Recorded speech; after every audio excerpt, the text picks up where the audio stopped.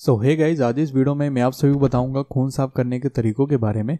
इस वीडियो में मैं आपको चार तरीके बताऊँगा जिसकी मदद से आप खून को साफ़ कर सकते हैं। देखिए, खून को साफ़ करना काफ़ी ज़्यादा ज़रूरी है। मैं आपको छोटा सा प्रैक्टिकल एग्ज़ाम्पल देकर के समझाता हूँ। जैसे कि जो गंदा खून है, सोचिए वही हमारी पूरी बॉडी में सर्कुलेट होगा। मतलब की सर से लेकर के पैर तक वही खून आपका सर्कुलेट हो रहा है हर एक मिनट हर एक सेकेंड तो सोचिए, अगर गंदा खून सर्कुलेट हो रहा है तो आपकी बॉडी पे कितने ज़्यादा गंदा इफ़ेक्ट पड़ेगा। इसलिए खून साफ़ करना काफ़ी ज़्यादा ज़रूरी ज़रूरी है, क्योंकि खून जो है हमारी पूरी बॉडी तक ऑक्सीजन पहुंचाता है, हमारी पूरी बॉडी में विटामिन मिनरल्स पहुंचाता है और साथ ही हमारी पूरी बॉडी में हार्मोन्स को बैलेंस करता है। तो खून जो है अगर आपका गंदा रहेगा तो फिर आपको काफ़ी सारी बीमारियाँ होने का खतरा रह सकता है। इसलिए आपको टाइम टू टाइम हर एक हफ़्ते में खून को साफ़ करने के लिए आपको एक डिटॉक्स ड्रिंक ज़रूर पीना चाहिए, जिसकी मदद से आप खून को साफ़ कर सकते हैं। अगर आप हफ़्ते में नहीं पी सकते तो आप दो हफ़्ते में एक बारी एक डिटॉक्स ड्रिंक ज़रूर पिए, जिसकी मदद से आप अपने खून को साफ़ कर पाएँगे, जिसकी मदद से आप अपने पूरे ओवरऑल बॉडी ग्रोथ को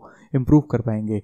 तो कौन कौन सी चीज़ें हैं जिनका आप सेवन कर सकते हैं, जिसकी मदद से आप खून को साफ़ कर सकते हैं? तो आइए एक एक करके जानते हैं। उसमें जो सबसे पहला है, आप सब्जियों की मदद से खून को साफ़ कर सकते हैं। सब्जियों में जैसे कि आप पालक, चुकंदर, लहसुन, अदरक, ब्रोकली जैसी आप हरी सब्जियों का सेवन कर सकते हैं। इनका सेवन आप उबाल करके भी कर सकते हैं, नहीं तो आप जूस बना करके भी आप पी सकते हैं। अगर आपको ये जूस अच्छा नहीं लग रहा है तो आप इसमें हल्का नमक या फिर नींबू डाल करके भी आप इस जूस को पी सकते हैं। कम से कम आपको इसको हफ़्ते में एक बारी इस जूस को तो ज़रूर लेना चाहिए इसकी मदद से आप आसानी से खून को साफ़ कर पाएँगे। ओके जो दूसरा तरीका है, वो ये है कि आप धनी और पुदीने की मदद से भी आप खून को साफ़ कर सकते हैं। किस तरीके से? उसमें आपको धनी और पुदीने की आपको चाय बना करके पीनी है। आपको क्या करना है? आपको थोड़ा सा धनिया लेना है और थोड़ा सा पुदीना लेना है। उनको आपको एक कटोरी में डाल करके आपको उबाल लेना है दस मिनट। उबालने के बाद आपको उसको छान लेना और आपकी जो धनिया और पुदीने की जो चाय है, वो तैयार है और इसका सेवन आपको सुबह सुबह करना है, तभी आपको ज़्यादा फ़ायदा मिलेगा। तो इसका सेवन आप करिए, आपको खून साफ़ करने में काफ़ी ज़्यादा मदद मिलेगा। उसमें जो तीसरा, उसमें आप तुलसी के पत्तों की चाय का सेवन आप कर सकते हैं।